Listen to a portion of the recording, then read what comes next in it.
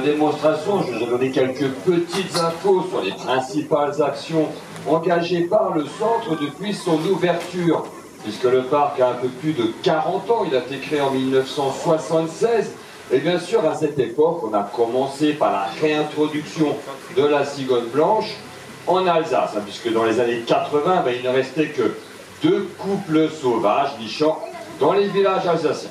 On a donc commencé par l'élevage de la cigogne blanche, avéré d'ailleurs une réussite, hein, puisqu'aujourd'hui on a plus de 900 couples nicheurs en Alsace. C'est d'ailleurs largement la population de cigognes qui nichait en Alsace au début du siècle dernier. Donc on peut dire aujourd'hui qu'on a pu rétablir la population de cigognes en Alsace. Alors on a continué les opérations en 1991, voilà la création du premier centre français de reproduction de loutres européennes, que vous avez peut-être déjà visité si vous avez fait le tour du parc, à droite, en sortant du bassin.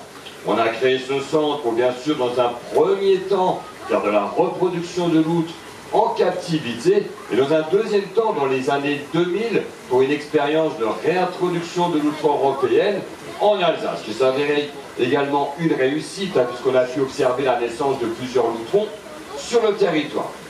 Et puis là, depuis ces dernières années, là, on s'est plus concentré sur le grand hamster sauvage. Il faut savoir que l'Alsace est la seule région en France où il y a du grand hamster à l'état sauvage.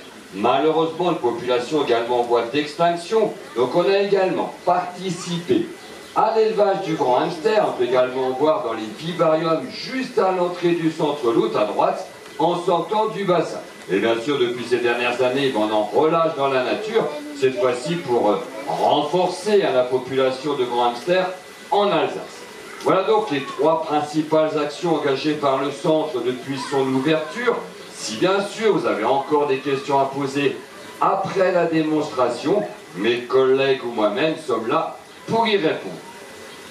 Donc notre spectacle va commencer maintenant dans quelques secondes. Alors faut pas vous attendre qu'on ait cette démonstration à voir des animaux faire des loopings, des sauts périlleux, sauter dans des cerceaux ou même jouer avec des ballons. C'est pas du tout le but recherché ici. Ici on veut simplement vous montrer les différentes techniques de nage et de pêche de différents animaux pêcheurs. Vous verrez aussi bien des mammifères que des oiseaux, puisque vous présentez des manchots, cormorans, loutres, otaries qui vont donc évoluer dans ce bassin. Et grâce à cette eau claire et à ce bassin vitré, vous pourrez donc les voir évoluer sous l'eau. Une image d'ailleurs très très rare justement, c'est de voir un oiseau nager sous l'eau. On va donc commencer par un oiseau, puisque pour débuter, on va vous présenter un grand cormoran qui va venir dans le bassin. Avant, je voudrais juste éviter de vous déplacer quand il y a des animaux qui arrivent dans le bassin ou qui sont dans le bassin, mais bien sûr de bien rester contre les gradins, de ne pas vous mettre dans les allées ou contre les vitres du bassin. Bien sûr, par mesure de sécurité. Merci. je vous rassure, hein, c'est pas un cormoran qui est là, c'est une cigogne. Elle n'a rien à faire là d'ailleurs. Le grand, le cormoran, il va pas tarder, hein, il a derrière. Le grand cormoran, on le rencontre dans le monde entier. Sur la Terre, il a la démarche d'un canard. La différence, ce sont les pattes et le bec. Ils ont un bec qui est crochu comme un hameçon et coupant comme une lame de rasoir. Leurs pattes sont deux fois plus palmées que celles d'un canard. De demi-cercle, un cercle complet. C'est ce qui va permettre au cormoran d'aller vite sous l'eau.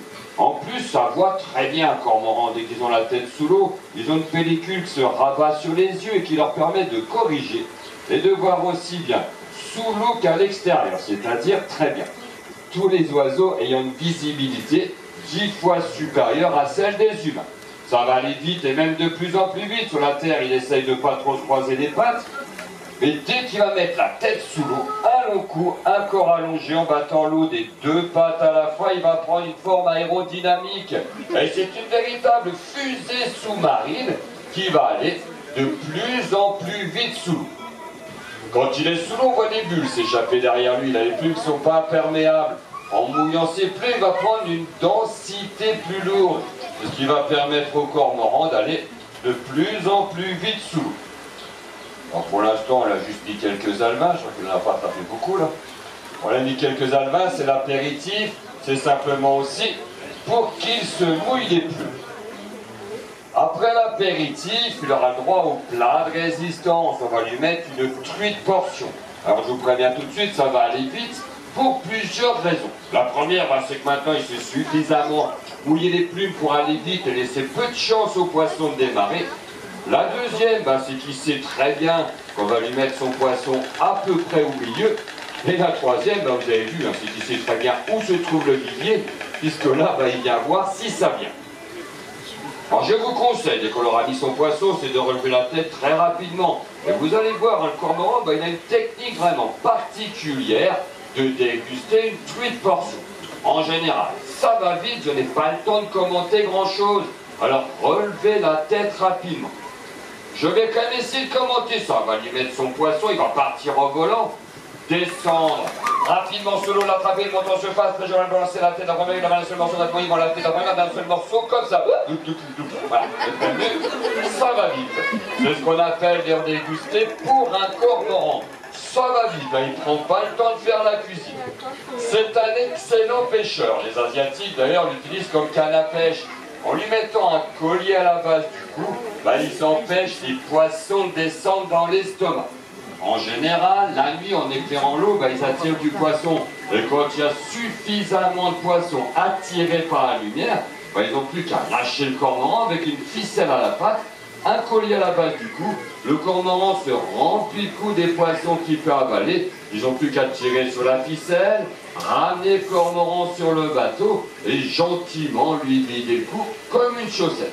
C'est une technique utilisée par les Asiatiques.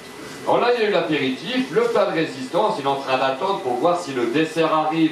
Il sait très bien qu'il a droit à un repas complet.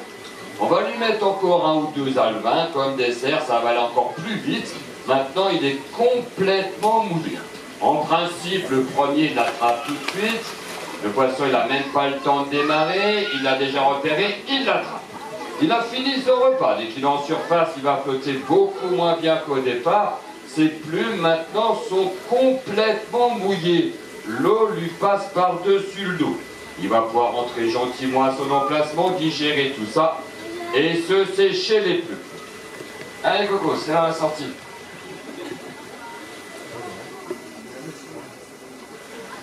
Ah, il n'y a plus qu'à l'applaudir, il a bien travaillé, c'est bien.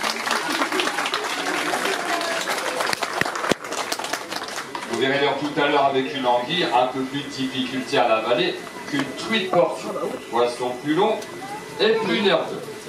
Et avant de faire venir une loutre européenne dans le bassin, on va déjà vous présenter maintenant une espèce qui ne fait d'ailleurs pas du tout partie des animaux pêcheurs, puisque maintenant on va vous présenter des ragondins, appelés également myocastors, c'est leur nom scientifique. Alors justement, on va vous présenter cette espèce avant de faire venir une loutre dans le bassin, tout simplement pour bien faire la comparaison entre les deux espèces. Deux espèces pourtant complètement différentes et qui vivent exactement sur le même milieu, c'est-à-dire le milieu aquatique. Donc ils sont malheureusement trop souvent confondus.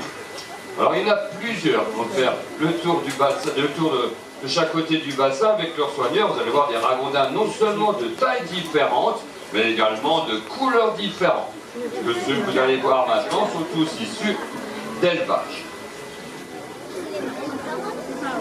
Très gentil, très propre, ça passe sa vie dans l'eau. En plus, ils se nourrissent pratiquement que de racines aquatiques et d'herbes. Donc, rien à voir avec un rat qui lui mange n'importe quelle cochonnerie. Et encore moins avec une goutte européenne qui, elle, est carnivore. Alors, il a été introduit, le ragondin, il n'exploite pas en France, il vient d'Amérique du Sud. C'est dans les années 1900 que les propriétaires d'élevage, voyant que la fourrure se vendait mal, les ont relâchés dans la nature et c'est devenu une catastrophe. Alors ces ragondins autour du bassin, bah, ils peuvent encore grossir. Un mâle adulte dans la nature peut atteindre entre 11 et 12 kilos sans problème. Vous imaginez donc les dégâts qu'ils sont capables de faire dans les berges et dans les digues des rivières, champs de maïs, etc. D'ailleurs, pour cette raison que dans certaines régions, on était obligé de les piéger, malheureusement avec des pièges qui ne faisaient pas la différence entre une loutre et un myocastor. C'est encore une des raisons de la disparition de la loutre en France, le piégeage du myocastor. C'est un rongeur, il a des dents de lapin en tout cas pour l'instant. Et adulte, il peut avoir des dents qui atteignent 5 cm de long et plus d'un centimètre de large. 8 à 9 kg, la taille d'un petit chat, mais avec des grandes. La différence avec un castor, simplement que le castor a la queue aplatie, on dit qu'un myocastor ragondin, a la queue arrondie. Vraiment, la morphologie est quasiment la même. Sauf qu'un castor, il est quand même beaucoup plus gros, puisqu'il peut atteindre 25 à 30 kg sans difficulté. Alors vous avez vu, en tout du bassin, vous en avez de couleurs différentes. Je vous rappelle, ces ragondins, ils sont issus d'élevage, donc sélectionnés pour la couleur de leur poil, leur fourrure. Alors que ceux, justement, qui ont été relâchés dans les années 1900, 1930 par les propriétaires d'élevage, ben, sont devenus sauvages marrons la couleur de celui qui fait le avec moi, qui lui est proche des ragondins que vous allez rencontrer dans la nature. Une particularité aussi du ragondin, c'est qu'ils sont capables d'allaiter leurs jeunes tout en restant dans l'eau. Par rapport aux autres mammifères que leurs mamelles situées tout le corps, des ragondins de leurs mamelles situées sur le côté, voire même presque sur le dos. La nature est bien faite, hein, comme ils passent la plupart de leur temps dans l'eau, ils sont alors capables d'allaiter leurs jeunes tout en restant dans l'eau, leur mamelle étant juste à la surface de l'eau.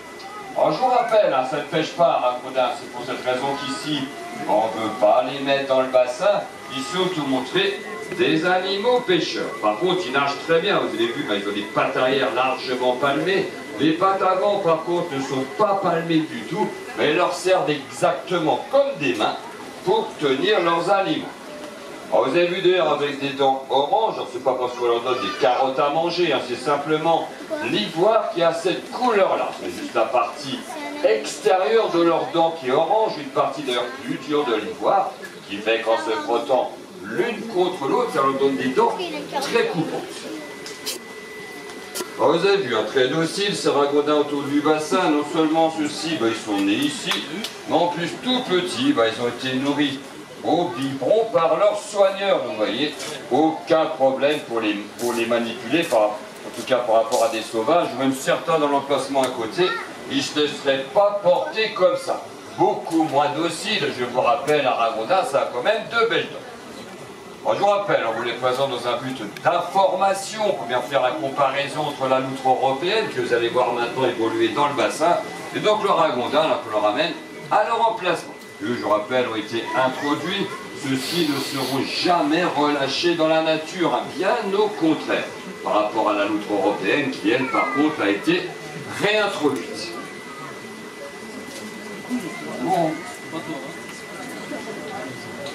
Mais si le myocastor ragondin ne pêche pas, la loutre que vous allez voir maintenant, elle, elle pêche. Elle pêche même très gracieusement. C'est d'ailleurs le mammifère le plus gracieux que l'on trouve dans la faune aquatique en Europe. Alors cette loutre que vous allez voir maintenant, c'est un mâle adulte, il pèse d'ailleurs presque 10 kg, il peut encore un peu grossir, hein, puisqu'un mâle adulte peut atteindre 10, 11 kg sans problème. Les femelles sont un tout petit peu plus petites, elles vont faire 7-8 kg au maximum. Une autre, bien sûr, qui est née en captivité, comme tous les animaux d'ailleurs que l'on vous présente ici. Allez, Nautilus, au boulot eh, toi.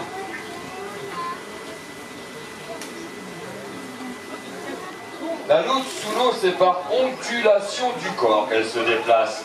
Elle a les quatre pattes largement palmées et une longue queue qui lui sert de gouvernail. Alors elle n'est pas rapide sous l'eau, elle est silencieuse. Elle chasse un petit peu comme ferait un chat avec une souris. Arrivant silencieusement derrière le poisson, le poisson la voit pas arriver, l'entend pas arriver, elle va finir par l'attraper. Elle a perdu pur, parce que dans les.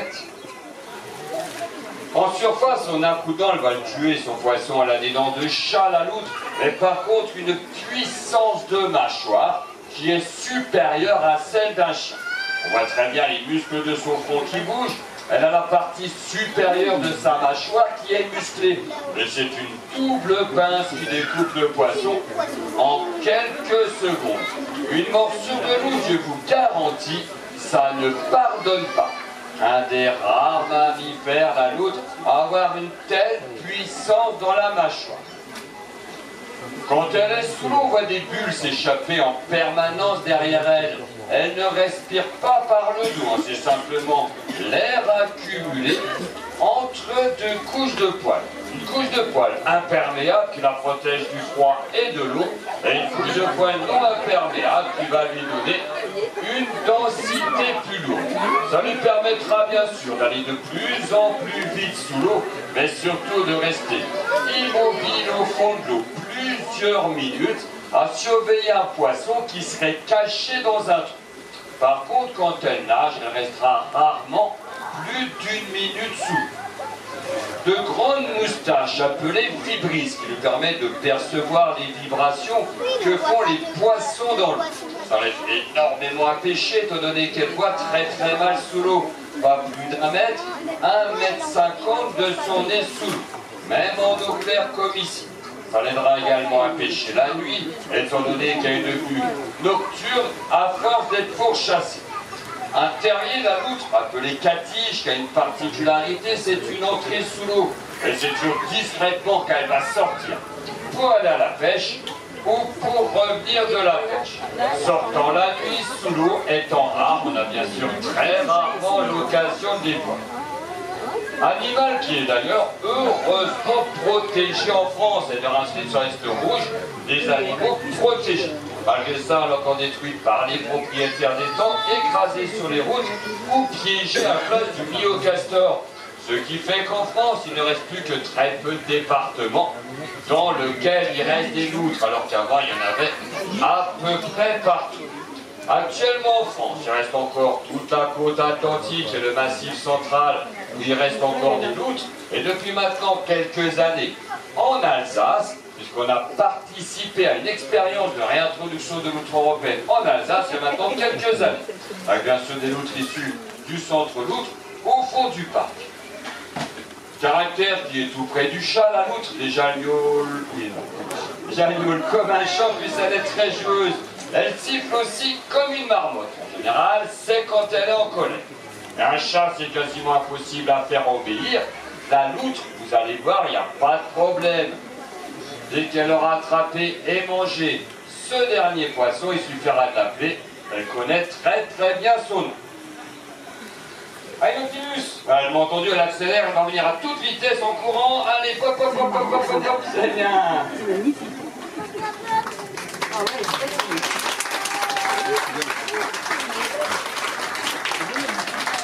Oui, c'est tout, j'ai aucun problème pour la ramener à son emplacement. Elle obéit même mieux que certains chiens. Maintenant, on va faire venir un autre cormorant, hein, qui on va pas demander cette fois-ci de faire de la vitesse comme tout à l'heure, c'est-à-dire pêcher des truites. Mais on va demander cette fois-ci de pêcher une anguille. Alors l'anguille, c'est pas du tout un poisson rapide, mais par contre un poisson nerveux et musclé. Tenir une anguille à la main, c'est quasiment impossible.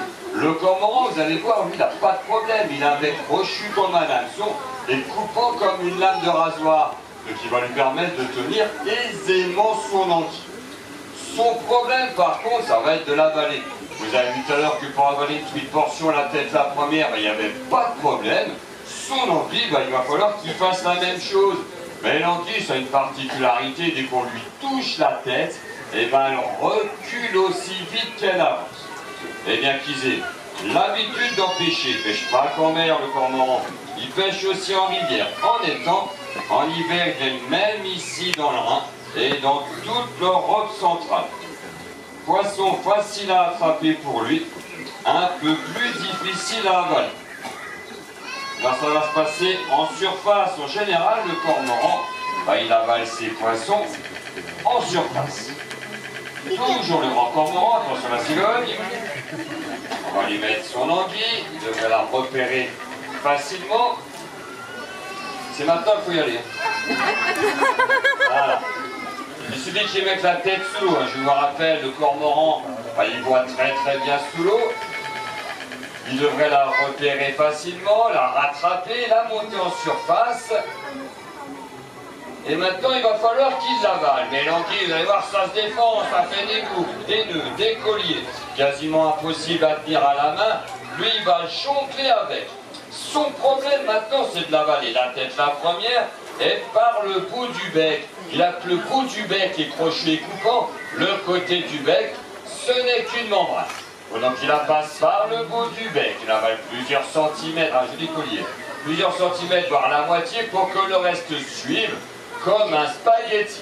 Et en insistant un petit peu, ça devrait quand même rentrer. Encore un petit effort. Voilà, on y est. Il y a un spaghetti qui recule, hein. ce n'est pas l'estomac de l'oiseau, la voix qui remonte, ça lui donne le hoquet. On est vicieux, on lui met un petit poisson sous le nez, mais si jamais l'anguille remonte jusqu'au bout du bec, là il a quand même le hoquet, bah ça risque de lui réserver une petite surprise. Il va, il n'hésite pas trop, ça ressort un petit peu, il a quand même réussi, mais elle ressort d'un coup un petit peu, elle est ressortie complètement. Elle est ressortie tellement vite, j'ai même pas vu ressortir. Alors vous avez vu, il n'est pas fou, hein. il a d'abord avalé son poisson, il sait très bien que ça s'avale facilement, et il a été récupéré son anguille après. Il est quand même pas fou, notre gourmand. bien sûr, vous allez me dire, quand même, c'est un petit peu méchant de lui faire ressortir son anguille comme ça. Mais dans la nature, ça se passe exactement de la même façon. Dès qu'il a attrapé une anguille, il cherche à avaler une deuxième ou un autre poisson comme ici. Et vous avez vu, c'est automatique, à l'anguille, elle en profite pour ressortir en marche arrière. Bien sûr, ici, en lui mettant des petits poissons sous le nez, on a quand même provoqué la sortie. Mais je vous rappelle, ça reste quand même tout à fait naturel. Là, je pense que ça va déjà beaucoup mieux. Le corbeau, il a quand même des sucs gastriques très puissants qui digèrent les arêtes, les écailles. En quelques secondes, maintenant son enquête elle va être asphyxiée. Quelques minutes, elle sera même complètement digérée. Alors elle ressort encore un peu. Ça n'est pas digéré. Comment c'est carrément de l'acide chlorhydrique qu'il a dans l'estomac. Voilà, il a qu'à boire un coup, ça va lui passer complètement son enquête. Et il va pouvoir rentrer maintenant à son emplacement digérer tout ça et se sécher. Ah bah je me sens bien. Et se sécher les plumes. Décidément, l'anguille est toujours en marche arrière. Voilà, je pense qu'il voit un coup, ça devrait passer, et il va rentrer à son emplacement, digérer tout ça, c'est bien. On peut l'applaudir, hein, ce qu'il attend d'ailleurs.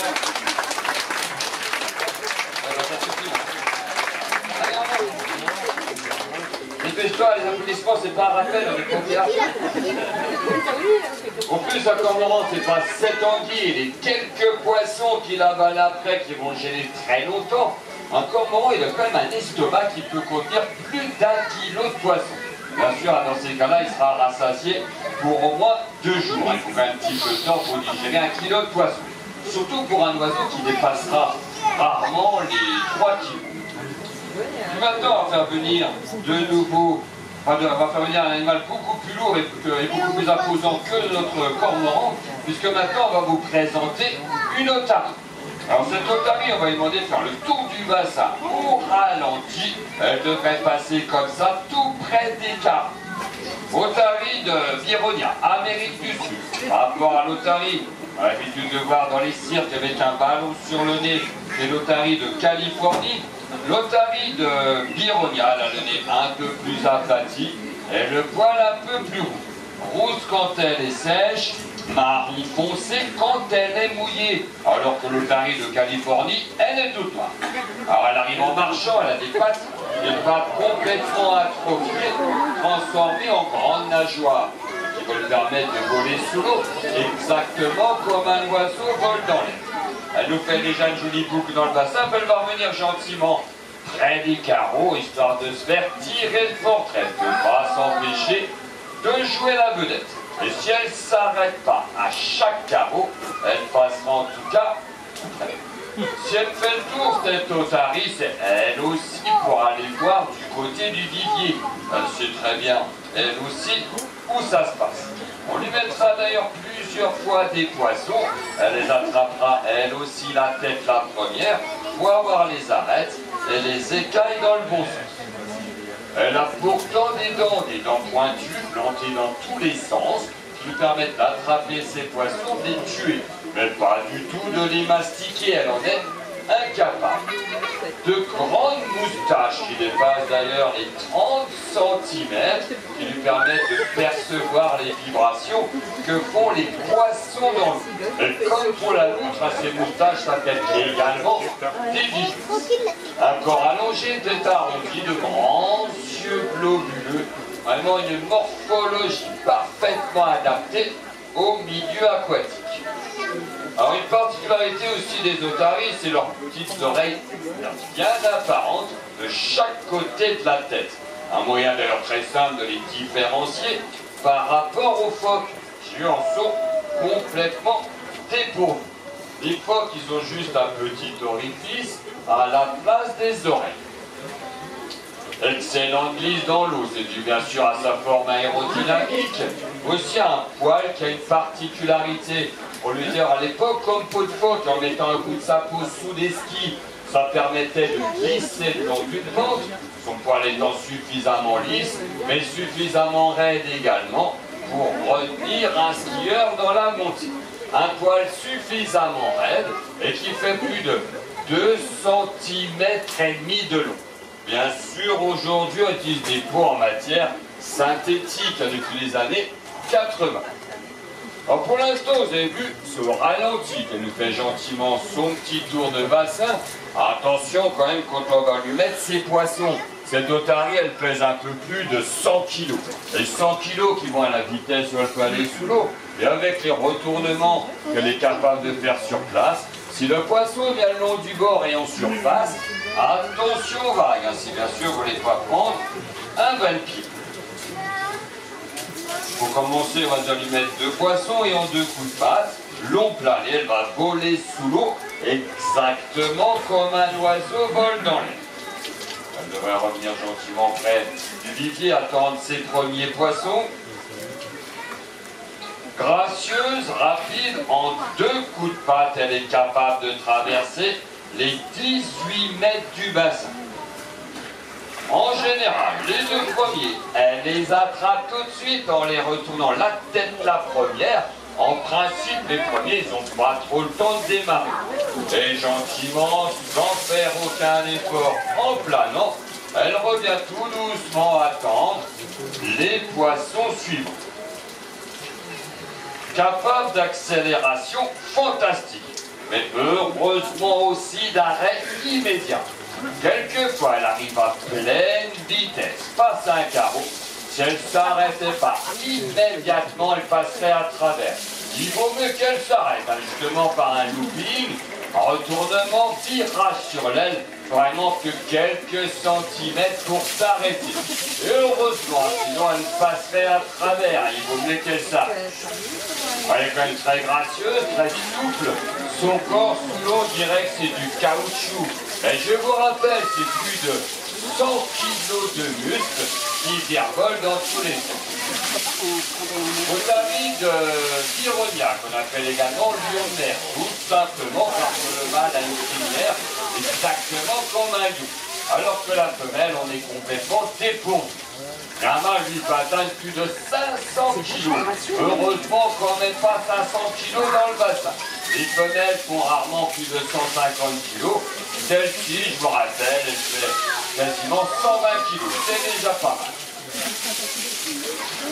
Des jolis retournements, de belles accélérations. Elle connaît l'air très bien les limites du bassin, c'est Otari. C'est donc très rare qu'elle vienne à toucher un carreau. Mais méfiez-vous, hein, c'est la terre en surface, il y a forcément une vague qui et qui déborde. Alors, je vous rappelle, hein, c'est des pattes qui à l'avant et à l'arrière, des pattes complètement atrophiées, transformées en grandes nageoires, qui va lui permettre de. Vous avez vu que elle arrivé tout à l'heure de se déplacer sur la terre en marchant. En tout cas, par rapport au phoque, en tout cas, par rapport au phoque, il est incapable de se déplacer autrement qu'en rampant. Il a encore une différence, c'est qu'il a avoir entre un phoque et une otage. Là, je pense qu'elle a quasiment terminé son petit ménage. On va encore lui mettre maintenant son dernier poisson. Je dire très bien ce que ça veut dire quand on lui dit que c'est le dernier. Et même si elle a des toutes petites oreilles, je vous garantis, elle m'entend très bien. On va donc lui mettre son dernier poisson. Là, je pense qu'elle m'a entendu. Si elle arrive à l'attraper tout de suite, ça devrait être un demi-tour. Elle va revenir du côté de la sortie. Nous faire un joli bond à la sortie. Et revenir au courant. Alanina en courant. Allez, hop, hop, hop, hop, hop, c'est bien.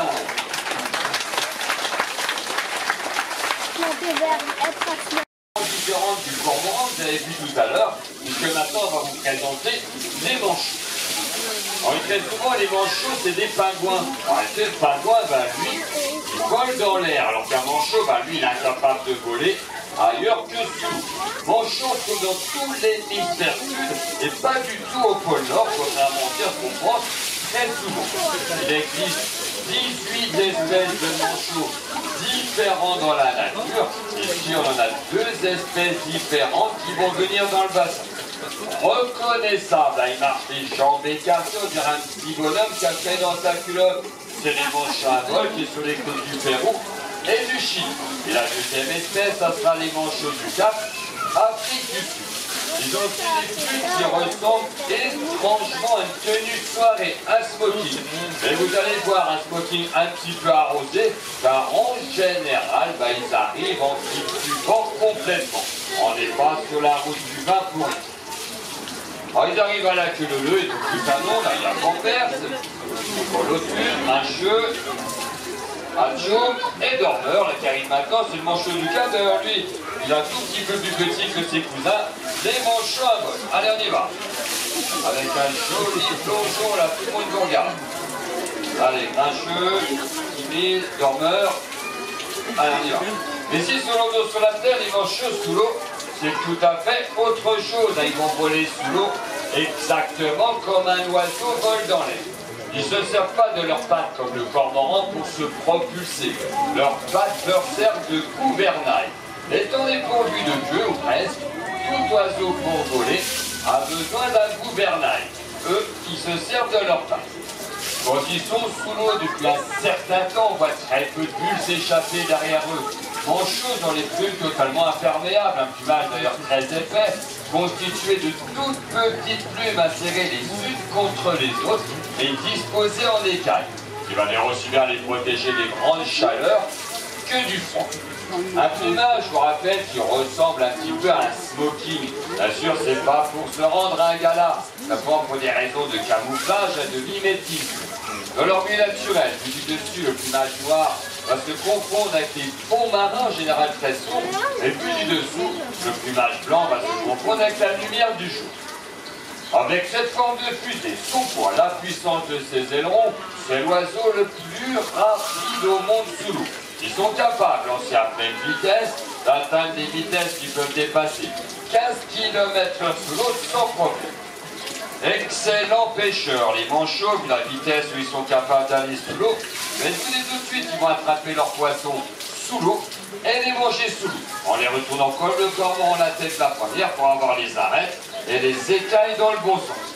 Et avec des accélérations fantastiques, virage angle droit, retournement, en quelques secondes, ils vont faire le ménage. Ça va aller très vite et entièrement sous l'eau. Un ou deux en surface, les autres ils se mettent au starter en ça va aller vite. Allez, vous êtes prêts, C'est parti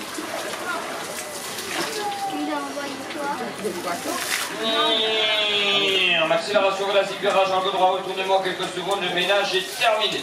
Les capurins devraient sortir. Certains s'y prennent suffisamment d'élan avec un joli bois à vente, comme ça, les autres vont prendre la marche avec une démarche plus humaine, de dos, que de face, on sortir du croupion. Allez dormeur, on pousse sur les jambes, oui, et donc les applaudir, je crois que sortir. y aller, il n'y a plus personne. Je vais d'attendre. Allez, on va tourner par la sieste, bien. Voilà, et donc c'est sur cette image de manchot que nous allons terminer cette démonstration. On n'a jamais vu de cormoran sous l'eau, manchot, loutre, otari. Eh ben c'est chose faite. J'espère que cela vous a plu et a appris à mieux connaître ces animaux. Merci.